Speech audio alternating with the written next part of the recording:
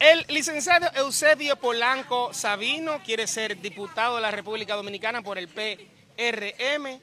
También Castor Ávila quiere ser regidor. Están en la Florida en el día de hoy, pero que sean ellos eh, que expliquen el motivo de su visita. Saludos. Saludos, ¿qué tal, Julio? Saludo al pueblo. En la tarde de hoy estamos en la Florida. Eusebio Polanco, aspirante a diputado. Castor Ávila, aspirante a regidor.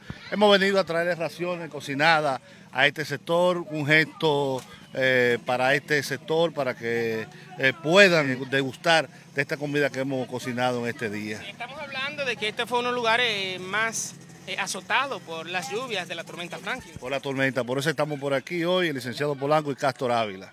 no es la primera vez, Castor, que ustedes vienen a este sector a entregar comidas eh, cocidas, cocinadas? Claro que no, hemos venido en otras ocasiones, también vinimos cuando eh, se le avisaba que salieran eh, en Fiona y ahora en la tormenta, hemos estado siempre en este sector. Bueno, muchas gracias, Castro, Eusebio, Polanco, saludos, bienvenidos.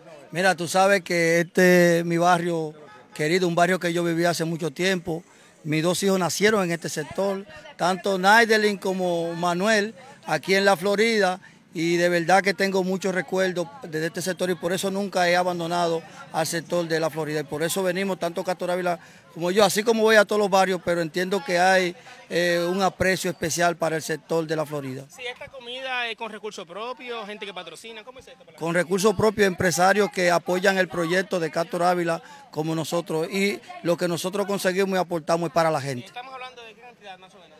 Alrededor de 200 raciones cocinadas agua para este sector que fue muy afectado por la tormenta Franklin, como así mismo fue afectado por el huracán Fiona, y siempre hemos estado dentro de este sector, viviendo su sufrimiento, sus necesidades, y tenemos un cariño sumamente especial para la Florida. Muchas gracias. Gracias a ti, hermano.